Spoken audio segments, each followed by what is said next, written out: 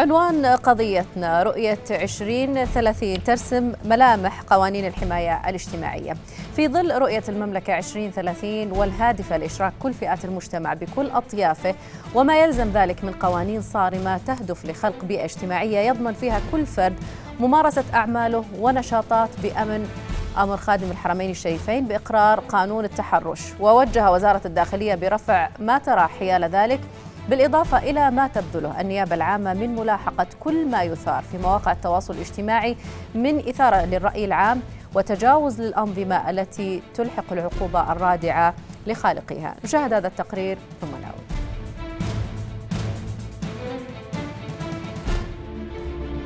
جاء قرار خادم الحرمين الشريفين الملك سلمان بن عبد العزيز حفظه الله بالتوجيه لوزير الداخلية بإعداد نظام لمكافحة التحرش متوازن مع رؤية المملكة 2030 والتي تهدف فيها إلى إشراك جميع فئات المجتمع للمساهمة في عملية التنمية والتغيير مع الحفاظ على أمان واستقرار الفرد والجماعة.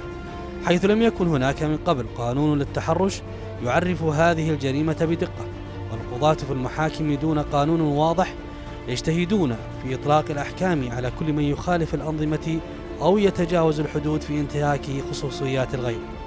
ولكن التقنين وتحديد عقوبة أعلى وأدنى كفيل بتحقيق الردع العام والخاص ويسهل عمل القضاة الذي لا بد أن يكون اجتهادهم ذا سقف مقنن.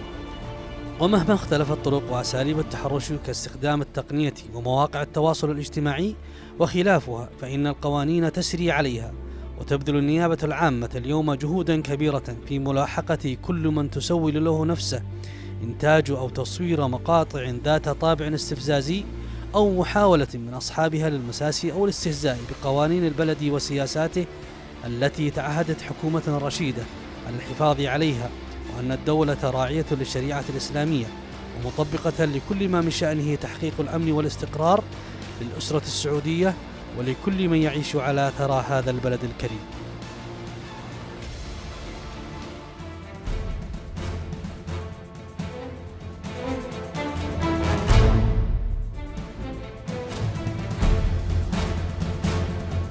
للحديث عن هذا الموضوع. معنا ضيفتنا الكريمة في الاستوديو الدكتورة ناهد باشطح وهي كاتبة صحفية. مرحبا بك دكتورة ناهد.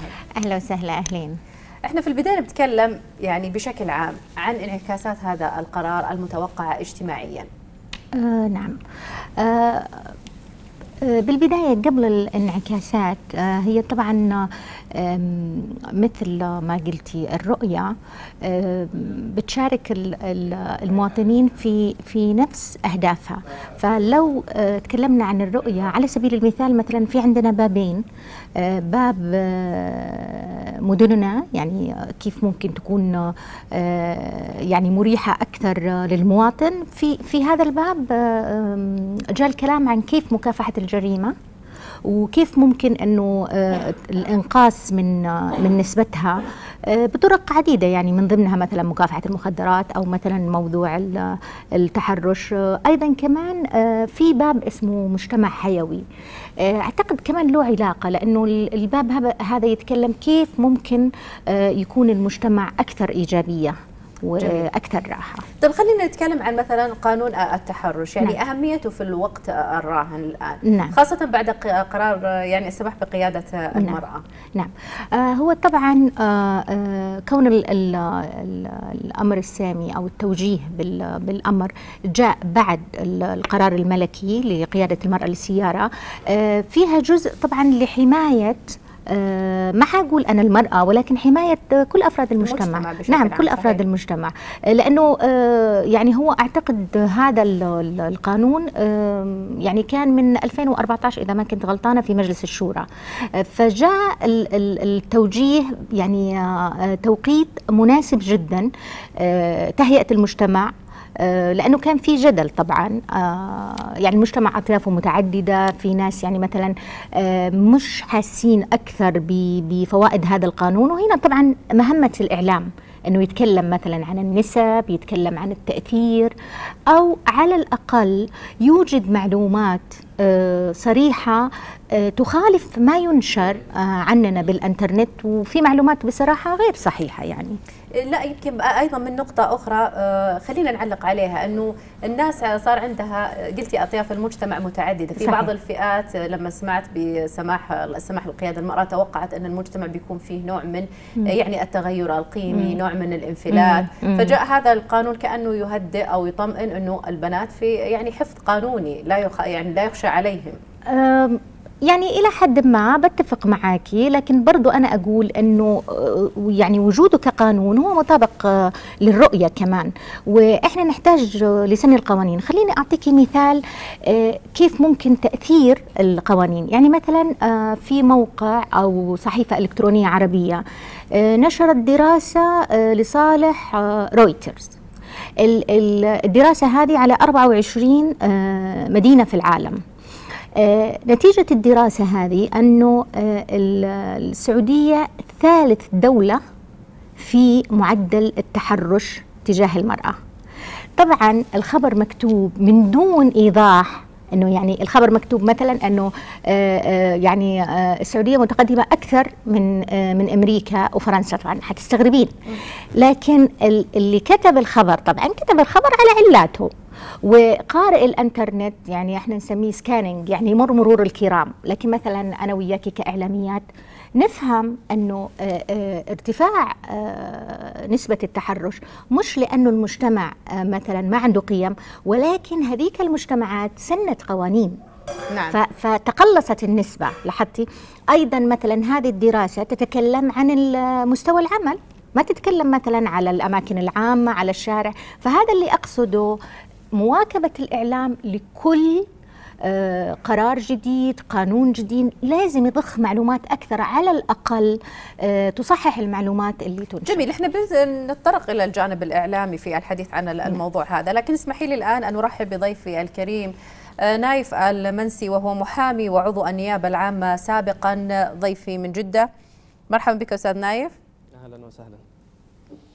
أستاذ نايف يعني دعنا نتحدث من الناحية القانونية معك لسن قانون التحرش. خلينا نتكلم عن آه، يعني ما بعد سن هذا القانون ما هو المتوقع؟ وفي الفترة الراهنة ما هو وضع قانون التحرش بالأساس؟ آه، الحقيقة أن قانون التحرش يعني إحنا كما هو معلوم لدينا أننا نطبق أحكام الشريعة الإسلامية في المحاكم. فالشريعة الإسلامية فيها باب اسمه باب التعزير. هذا الباب يشمل كل الجرائم تقريبا اللي فيها عدوان على النفس أو على الآخرين. فمن هذا الباب إحنا أصلا موضوع التحرش ما هو موضوع جديد إنه سيجرم الآن يعني ما كان مجرم وسوف يصبح الآن جريمة.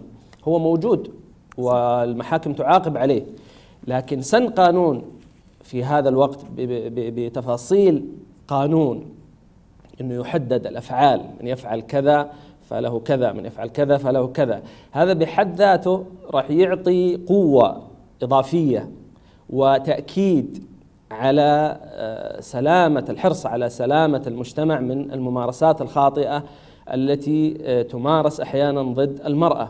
نعم. دكتورة ناهد يعني هذا الحين شوف الحديث من الجانب القانوني نعم. أنت ذكرتي نقطة قبل قليل جدا مهمة إيه؟ الطرح الإعلامي لما نتكلم عن سن قانون التحرش ونبحث فيه نجد أن الطرح الإعلامي وهو مشارك في عملية التوعية يعني م. يخلق مفاهيم خاطئة وكأن أساسا القانون يعني كان في تحرش مسموح يعني أيوة. يعتقد يعني أيه. ودي أن تعلقين على هذه النقطة طيب خليني أقول لك آه، من بدأ آه، يعني من تم إعلان آه، يعني توجيه الملك الله يحفظه. آه، أول ملاحظة بالنسبة لي أنه خطاب الملك آه، نشر آه، في وسائل التواصل الاجتماعي ما نشر في أي صحيفة. هذه رقم واحد. نعم. والخطاب مهم ويعني الثقافة القانونية أصلا مهمة يعني إنها تنتشر. وهذا الدور ال ال ال القانونيين إذا اتحدوا مع الإعلاميين. على سبيل المثال آه لقيت أنه التغطية باستثناء صحيفة واحدة فقط كتبت آه ماده بسيطة عن تعريف التحرش. يعني أنا من وجهة نظري كان ممكن ننشط أكثر في أنه أول شيء آه نشرح للجمهور الفرق ما بين الأمر الملكي في السماح بقيادة المرأة للسيارة والأمر السامي. في هذا النظام. هذه مهمة جدا وهذه انتشرت على فكرة عبر تويتر. صحيح. أيوه ويمكن كلنا لاحظناها. آه، بس القانونيين أفضل مننا في هذا الموضوع يعني. صح. آه، أو على الصحفي إذا أراد أن يتخصص على الأقل يأخذ دورات في ال- في القانون. آه، النقطه المهمة الثانية أنه آه، كل التغطيات جاءت.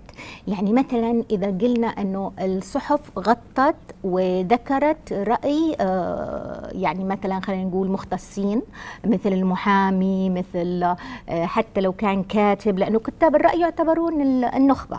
نعم. ألاحظ إنه يكون ال- ال- ال- التغطية انطباعية. يعني أنت كاعلامي تعكس رؤيته الشخصية أيوه يعني انت أنت كإعلامي لما يكون عندك ضيف محامي لازم تستثمره. يعني أوكي أكيد كلنا فرحانين بهذا الخبر وما في أي إنسان يعني عاقل مش حيفرح بأمر سامي لأنه ناتج عن دراسات. يعني إحنا دولة كبيرة ومؤثرة لكن النقطة إنه الإعلام إلى حد ما ضعف في المحتوى. يعني يمكن هذا بسبب عدم وجود الصحافة المتخصصة عندنا. صحيح. لكن دكتورة في نقطة مهمة أنت تحدثتي عن الجانب الشخصي. خلينا نتكلم عن ليس فقط الخبر عندما ينقل إنما رأي الكاتب. كيف رأيتي تفاعل آه، الكتاب والنخبة الثقافية في آه، هذا الموضوع؟ إلى الآن طبعا إحنا ما نقدر نحكم لأنه تو يعني ال- آه، توجيه الملك فترة بسيطة. لكن أنا انتبهت إنه فقط مقال واحد كان مكتوب عن هذا الموضوع. وزي ما قلت لك الأخبار كانت تغطية انطباعية يعني ما فيها أي توعية صحيح. آه، لكن انتبهت إلى أعتقد واحدة صحيفة إلكترونية آه، كتبت آه، تعريف التحرش أنواعه آه، يعني مثلا أنا أتساءل أقول طيب آه، آه، هل سيندرج مثلا آه، الطفل التحرش ضمن الطفل أو هو مثلا طيب خلينا جميل سؤال جميل. أستاذ نايف يعني آه، الكل يتساءل عن هذه آه، النقطة. هل سيتم يعني ضم قانون التحرش بما فيها فئة الأطفال؟ ما في شك لأن إحنا أصلا عندنا الآن قانون آه، حماية الطفل. هو سبق هذا ال- ال- الموضوع. ويعني هو يشمل كافة أنواع الإيذاء اللي يمكن أن توجه إلى الطفل. لكن أيضا قانون التحرش سوف يأتي بأمور تفصيلية في موضوع التحرش فيما يخص موضوع التحرش بالذات بالنسبة للطفل. نعم لكن خلينا نتحدث آه، أستاذ آه، نايف عن نقطة تتعلق بالوعي العام لدى المجتمع. أنت كيف تقيس من الناحية آه، القانونية؟ هل بالفعل المجتمع يفهم مثل آه، يعني ما تحدثت به في النقطة الأولى من أن بالفعل أساسا عندنا نظام آه، يحمي آه، آه، يعني فئات المجتمع من آه، التحرش؟ يعني تقييمك للوعي من خلال ما تم تناقله في وسائل التواصل الاجتماعي أو حتى عبر الصحف كأخبار. أنا في نقطة طالما أنك أثرتي هذا الموضوع يعني ودي أن أتحدث فيها أني أنا بد- بدينا نسمع في هذه الفترة بعض الناس يطرحون طرح عجيب جدا. يعني يقول أن نظام التحرش هذا إذا حصل وأقرته المملكة أن المملكة سوف تتخلى عن حكم الشريعة وأنها ربما سوف تشرع للزنا أو تشرع للعلاقات. وكلام عجيب جدا يعني. أنا أنا لولا أني اراه يعني أحيانا يطرحوه بعض الناس مثل هذا ال- ال- الأسلوب الغريب جدا. وهو ينم عن جهل كبير جهل كبير بطبيعة المملكة العربية السعودية وطريقة تعامل المملكة العربية السعودية في سن قوانينها وأنظمتها. المملكة تسن أنظمة من أكثر من خمسين سنة. وهذه الأنظمة يعني مشكلة الناس هؤلاء يظنون أن هذا القانون لأنه مأخوذ من دول أخرى ومستفاد من دول أخرى أنه يأتينا هكذا كأنه جاي في صندوق فيدكس نفتحه وناخذ كل ما فيه إذا في والله مثلية جنسية راح نقرر المثلية الجنسية إذا في إباحة زنا إحنا راح نبيح الزنا هذا كلام غير صحيح. إحنا من خمسين سنة بنستفيد من الدول الأخرى في سن الأنظمة ونستفيد من خبرات الآخرين لكن في الإطار الذي يراعي قيمنا في الإطار الذي يراعي تطبيق الشريعة. لا يوجد عندنا ولا نظام في المملكة العربية السعودية اليوم يخالف الشريعة بأي وجه من الوجوه. لأن أي نظام قبل أن يصدر لابد أن لا يخالف الدستور. إحنا دستورنا هو الشريعة الإسلامية. صحيح. فلا يجوز نظاما لأي نظام أن يخالف الدستور. فأول شيء يبحث عنه في سن القوانين أنه في مستشارين شرعيين ينظرون في هذه الأنظمة ويبحثون فيها أن لا يجب أن تخالف الشريعة بأي وجه من ال- الوجوه، فهذه النقطة يعني أنا من ضمن ال- الوعي أن الناس يجب ت- تتوعى في هذا الجانب أن جميل. هذا النظام آه، لا يخالف الشريعة بأي وجه من الوجوه. جميل إحنا معنا الآن مداخلة هاتفية من آه، محمد الساعد وهو كاتب صحفي مرحبا بك أستاذ محمد مرحبا أهلا وسهلا.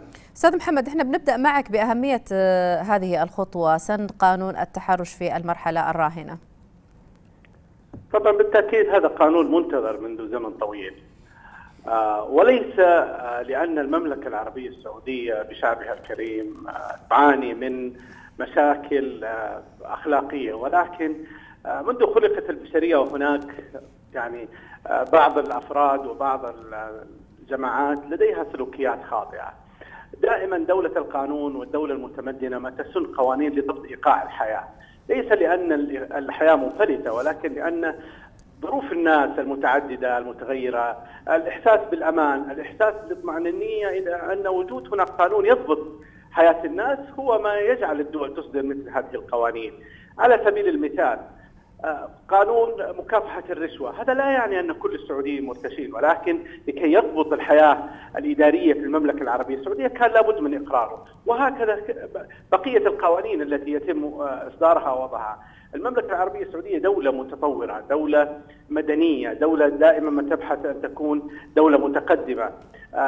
لا شك أن المملكة في سعيها للتقدم نحو عالم مدني وحديث آه، هي تحدث دائما من إجراءاتها ومن قوانينها، أيضا المملكة العربية السعودية يجب ان ان يعني أن تتعايش مع العالم، هناك عالم نعيش في محيطه، نحن لسنا دولة منعزلة عن العالم، نحن لسنا دولة فريدة، نحن دولة ضمن منظومة من الدول، بالتأكيد نحن نحافظ على قيمنا، نحافظ على تراثنا، على ثقافتنا، على ديننا، وهذه وهذا لا شك موجود، المملكة العربية السعودية دافعت عن نظامها طوال نعم. 100 سنة سابقة. دون أن يمس هذا النظام بسوء.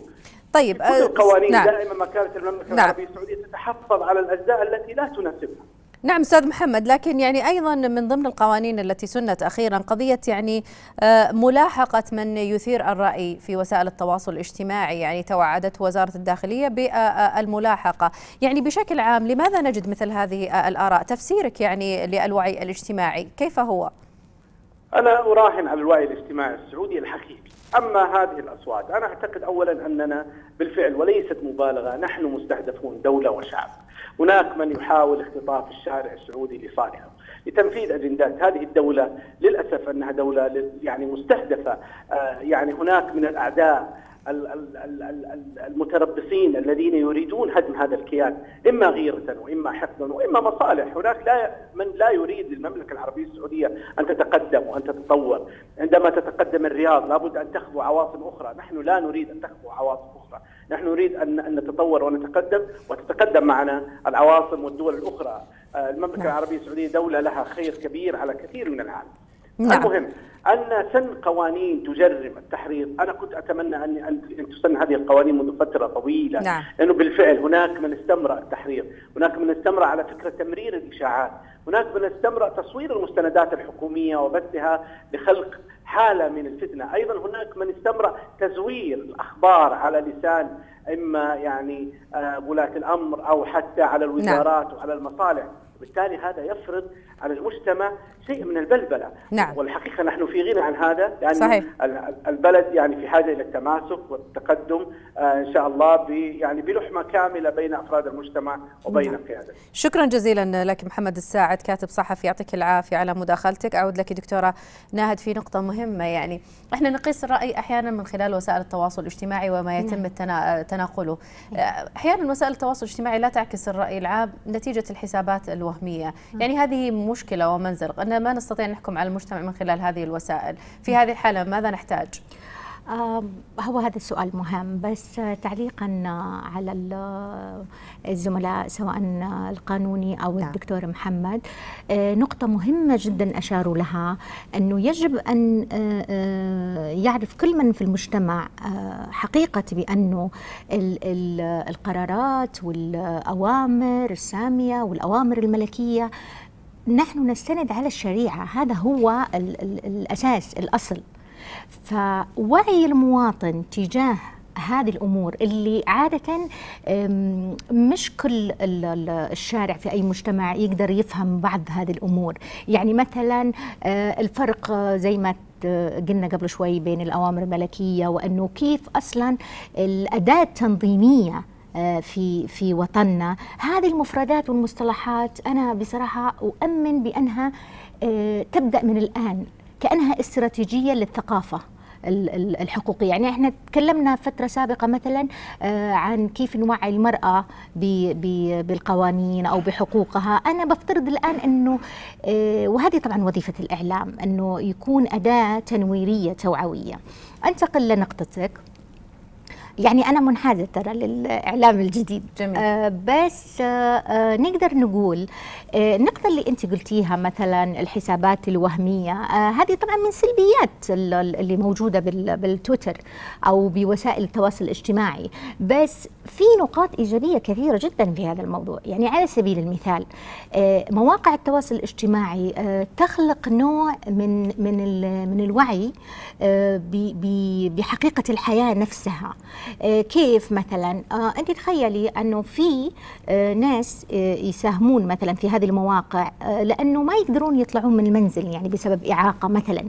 فهو يقدر يشارك فهي أعطت مجال أكثر لتعدد الرأي. آه عندك مثلا آه، خلينا نقول إنه آه صحيح إنه ممكن آه تنشر آه زي ما قلتي حسابات وهمية أو معلومات مغلوطة زي ما أشار الدكتور محمد الساعد لما قال مثلا آه تنشر آه مستندات. طبعا هذا في كل العالم ترى مش مش في مجتمعنا بس. يعني آه، طيب. في كل العالم صحيح. مثلا آه، في تويتر اللي هو يعني يعتبر آه، خلينا نقول أداة مهمة في تشكيل الرأي العام عندنا بالسعودية طيب إذا نشرت أنا مثلا مستندات خاطئة في عندي مجال للتصحيح وهذه نقطة إيجابية مش موجودة مثلا في خلينا نقول بشكل سريع في الإعلام التقليدي على سبيل المثال مثلا وجود الهاشتاجات مهمة جدا صحيح في هاشتاجات مثلا خلينا نقول مسيئة لكن ما نقدر نخفي تأثيرها. يعني صحيح. على على المستوى على فكرة على المستوى التجاري طبعا. آه يعني إحنا نتكلم هنا كإعلاميات بس على المستوى التجاري هم يؤمنون بهذه الأداة. مشكلتنا أعتقد في الإعلام إنه إلى الآن لم نتوصل إلى قناعة حقيقية من الداخل بأهمية وسائل التواصل طيب الاجتماعي. هذه نقطة جدا مهمة. ببحث فيها معك محور آخر حتى من الناحية التجارية. لكن okay. اسمحي لي الآن أن أنتقل للأستاذ نايف، أستاذ نايف يعني إحنا هنا لنا دور في قضية التوعية، التوعية بشكل عام، خلينا نتكلم عن أنواع التحرش التي من الممكن أن تسن ويجب أخذها في الحسبان، خلينا نبدأ من أهم نقطة وهو قانون التحرش الذي آه، ربما يعني يسن بشكل أوسع في الأماكن العامة، كون أن المجتمع تخوف من قضية السماح بقيادة المرأة وتوقع أن هناك مجموعة من السلبيات تترتب عليه من ضمنها قد تكون ملاحقة الفتيات وهكذا. يعني فوضى اجتماعية من نوع ما تخيلها الوعي الاجتماعي. تفضل. نعم صحيح صحيح. هو هو الآن يعني التوقيت كان مناسب جدا آه، لطمأنة المجتمع أن موضوع قيادة المرأة للسيارة. طبعا إحنا إحنا مثل ما ذكر الدكتور قبل قليل إحنا لا نراهن كثير على موضوع الأنظمة. إحنا أصلا شعب مسلم إحنا أصلا شعب ملتزم إحنا شعب آه، أخلاقي بفطرته وطبيعته. يعني إحنا لكن يعني دائما يوجد شواذ في كل مجتمع. هؤلاء الشواذ هم الذين يحتاجون سن مثل هذه الأنظمة. وهم قلة ولله الحمد. يعني حتى إحنا حينما نتكلم عن مثل هذه القوانين ولا أنه يوجد جرائم يعني إحنا حتى في غير التحرش في جرائم كثيرة في سرقات في قتل في في كل مجتمع حتى في عصر النبي صلى الله عليه وسلم. يعني كان وجدت جرائم ووجدت أشياء. لكن هي لا تمثل ظاهرة ولا تمثل يعني شيء يكون مرعب للمجتمع انه والله غدا إحنا مجرد ما إن المرأة سوف تسوق السيارة راح تتعرض لأشياء، لكن هذا النظام هو للطمأنة. ولوضع النقاط على الحروف وللتأكيد على أن لن يكون هناك أي تساهل مع أي تجاوز يمكن أن يحصل تجاه آه، النساء في هذا الباب. فهذه الطمأنة إن شاء الله سوف تنعكس إيجابا على الأمن الاجتماعي والسلم الاجتماعي ويعطي أن الدولة بدأت تهتم في هذا الجانب وأنه هناك في تشديد راح يكون في تجديد وأيضا راح يكون في توصيف يعني هذه نقطة أخرى مفيدة في الأنظمة أنها تبدأ توصف الأفعال نعم. يعني كما قلت قبل قليل التعزير الشرعي يشمل كل الجرائم لكن لما تأتي أنت على سبيل التحديد مادة مادة يعني مثل الآن جرائم المعلوماتية حينما سن قبل كم سنة. يعني جرائم الإنترنت كانت مجرمة أيضا لكن لما جاء نظام المعلوماتية وبدأ يحدد أن من يخترق موقع كذا من يتكلم في وسيلة كذا يفعل كذا بدأ الناس يعني يخافون. حتى بعضهم صاروا يهدد الآخر يقول له انتبه ترى الآن أنت تخالف نظام المعلوماتية. انتبه. فصار في آه، ضبط كبير. وهذا اللي إن شاء الله إحنا نتمناه ونأمل فيه أنه سيساهم فيه نظام نعم. التحرش حين إصداره إن شاء الله. دكتورة نهد كنا نتحدث عن نقطة جدا مهمة كيف أنك تقيس الرأي العام, العام. من خلال نعم. وسائل التواصل الاجتماعي نعم. وقلنا أن الهاشتاجات وأيضا التغريدات تعكس جانب. نعم. طيب إذا كانت فعلا آراء الناس تهمنا وإحنا نبني عليها بعض القرارات ليش ما يعني أسوة بالدول الأخرى ما عندنا مثلا مراكز قياس الرأي؟ كونها تعطي مؤشرات حقيقية استفتاء حقيقي. نعم. آه في نقطة صراحة مهمة في هذا الموضوع. يعني أنا بتفق معك طبعا أنه آه في عندنا مثلا آه هاشتاجات مسيئه أو وممكن تكون من من وهمية يعني زي ما آه كشفنا أخيرا مثلا إنه قطر وراء كثير من الهاشتاجات. والمواطن البسيط يلاحظ الآن في تويتر يعني اختفاء كثير من الهاشتاجات اللي كانت تؤلب آه، على الدولة. نعم, نعم. في أكثر من نقطة يعني أبى أقولها لك. بالنسبة لتحليل مواقع التواصل الاجتماعي للأسف ما عندنا اهتمام. هي طبعا وسائل التواصل الاجتماعي اللي مثلا تويتر أو الفيسبوك أو حتى على فكرة الواتساب هي يعني أحد مصادر البيانات الضخمة. البيانات الضخمة هذه يعني مش ممكن قياسها بال, بال خلينا نقول بال بالأدوات التقليدية. لازم يكون في برامج متخصصة. يعني مثلا مثلا أنا استعملت واحد من هذه البرامج في في رسالتي للدكتوراه. بدا يعني بداية وبعدين غيرت رأيي. لكن كان عندي معلومات اسمه sentiment analysis اللي هو تحليل مشاعر النص. يعني ممكن تاخذين خلينا نقول واحد من الهاشتاجات المهمة جدا آه، تجاه قضية مهمة ويتم تحليلها بهذه البرامج المتخصصة. طبعا هي الإشكالية أنه إحنا كإعلاميين أو كصحفيين يعني مهن المهنة مستغرقتنا أكثر. فما ينتبه الإعلامي أنه ممكن آه، يعمل هذه المواضيع. أنت تفضلتي وقلتي ما عندنا مراكز للقياس الرأي إيه في عندنا مراكز دراسات وأبحاث لكن مثلا ليست لقياس الرأي. قياس إيه المشكلة.